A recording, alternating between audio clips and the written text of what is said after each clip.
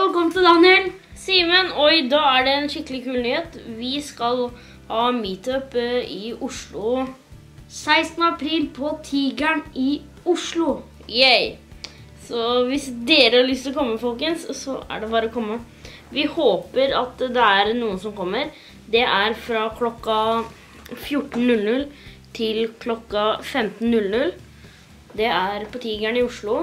Det, er, det kommer til å være flere folk der, så Kattekryp Yes. er der. mm.